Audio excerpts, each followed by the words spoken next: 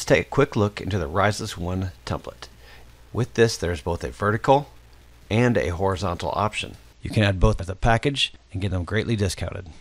The vertical option makes great senior banners, individual prints for parents, and things like that. The horizontal option works great to fit a whole team, and both these will easily print as large banners. There are four different versions of the template, and each version has multiple different sport equipment. Rise As One number one is going to have a home plate that's going to be great for baseball or softball. It's also going to have a lacrosse stick, a track shoe for either track or cross country, and a boxing glove.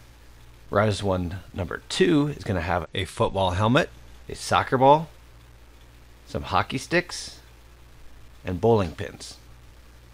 Rise As One number three is going to have a basketball hoop, swimming goggles, wrestling headgear, and a cheer bow. Rise As One number four is going to have a golf ball, a tennis racket, a volleyball, and music sheets.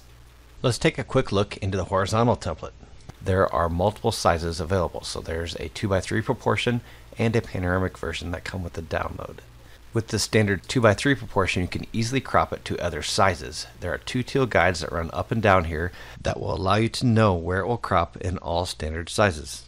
If you're printing for multiple sizes for your clients, you can simply move your subjects inside those two teal guides, and then you'll know they'll be safe from getting cropped off on any standard size, like 16 by 20s, 12 by 18s, 8 by 10s, 5 by 7s, 4 by 6s, 3.5 by 5s, wallets, and so on.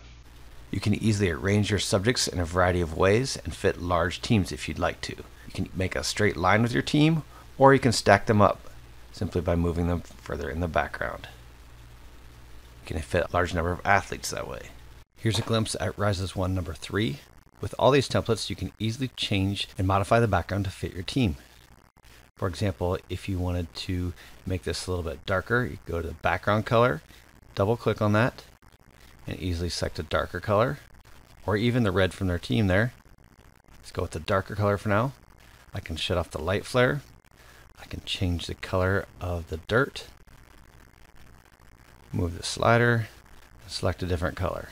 So for example, if your team colors are blue, you could easily put blue in there, or you can even desaturate it and make it gray.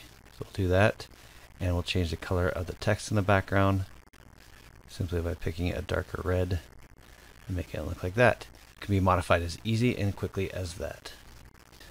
Adding your own subject to any of the templates can be very simple. There's an Insert Subject Here folder that lets you know where to insert your subject. Simply click on my sample subject, then go grab your extracted subject and drag and drop them into the template. Then you can resize them place them exactly how you want them. It can be as simple and easy as that. This is a versatile template that offers a clean, crisp look or dramatic look depending on what colors you put in the background. I know your athletes are going to love it.